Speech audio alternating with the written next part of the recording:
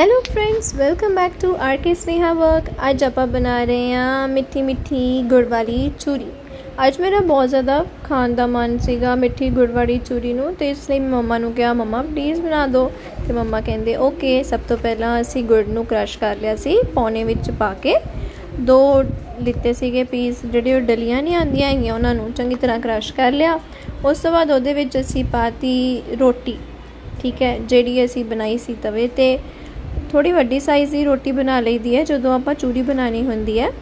ਤੇ ਉਹਨੂੰ ਆਪਾਂ ਜਮਾ ਛੋਟੇ ਛੋਟੇ ਪੀਸਸ ਵਿੱਚ ਚੂਰੋ ਚੂਰ ਕਰ ਦੇਣਾ ਹੁੰਦਾ ਉਸ ਤੋਂ ਬਾਅਦ ਆਪਾਂ ਉਹਦੇ ਵਿੱਚ ਪਾਵਾਂਗੇ ਦੇਸੀ ਘਿਓ। ਦੇਸੀ ਘਿਓ ਆਪਾਂ ਪਾ ਲੈਣੇ ਹੈਗੇ ਆ 4-5 ਚਮਚ।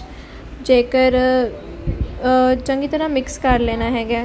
ਤੇ ਜੇਕਰ ਹੋਰ ਤੁਹਾਨੂੰ ਲੋੜ ਆ ਘਿਓ ਪਾਣ ਦੀ, ਤਾਂ ਤੁਸੀਂ ਵੇਖ ਲਿਓ ਤੇ ਤੁਸੀਂ ਪਾ ਸਕਦੇ ਹੋ। ਫਿਰ ਤੁਸੀਂ ਇਹਦੀਆਂ ਬੁਰਕੀਆਂ ਕਰ ਦਿਓ।